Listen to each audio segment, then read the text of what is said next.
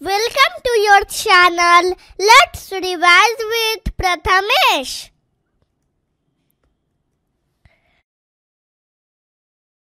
Part of digestive system.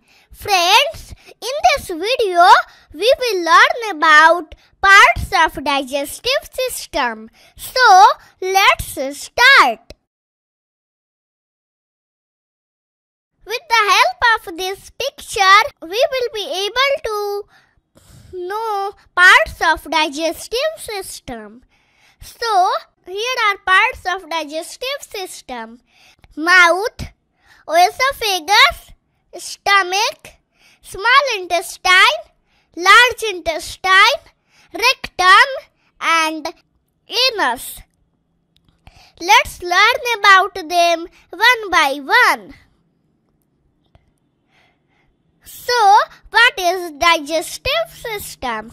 The main organs that make up the digestive system in order of their function are the mouth, esophagus, stomach, small intestine, large intestine, rectum and anus. Helping them along the way are the pancreas, gallbladder, and liver. Here's how these organs work together in your digestive system.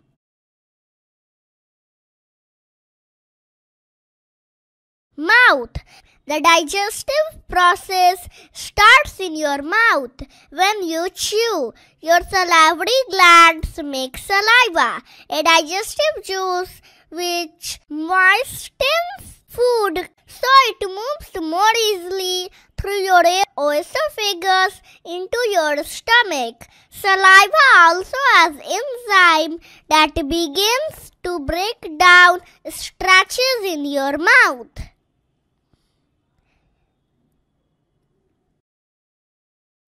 Esophagus. The esophagus or gullet around 25 centimeter in length connects the mouth to the stomach via the pharynx.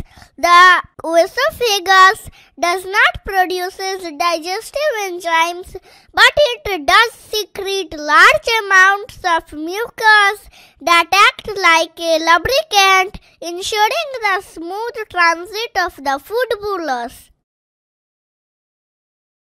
Stomach. It prepares it to provide your body with energy. The stomach makes several digestive juices and enzymes that mix with food. Next, the stomach's strong muscles act like a blender to turn food into a usable form. Friends, do you know stomach produces mucus so that gastric juice can't burn the inner wall of the stomach and stomach produces 1 to 2 liters of gastric juice per day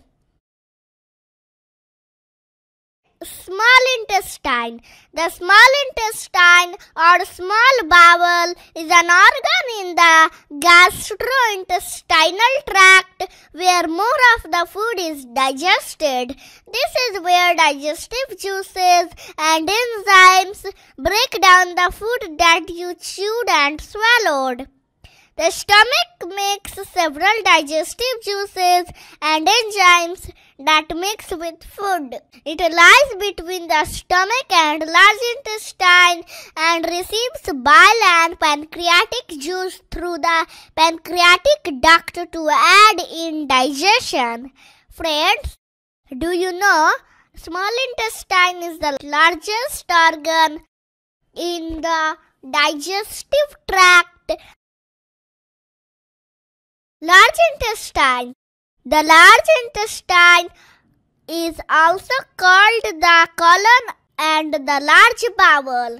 The job of your large intestine is to absorb water, minerals, and some of the remaining nutrients from your mouth.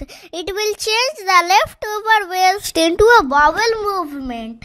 This is called stool. Friends, do you know large intestine, size of the queen size bed.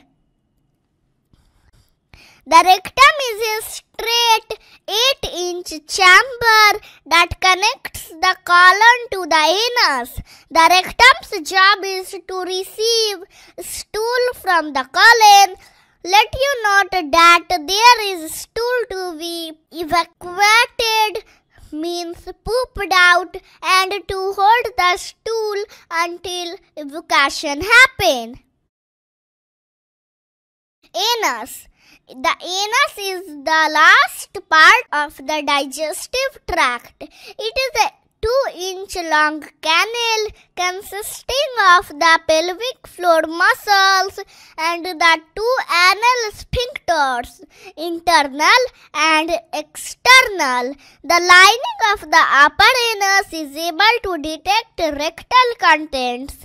It lets you know whether the contents are liquid, gas, or solid. Thanks for watching. If you like my video, so please put a like and if you are a new member to this video, so subscribe it and share it with your friends.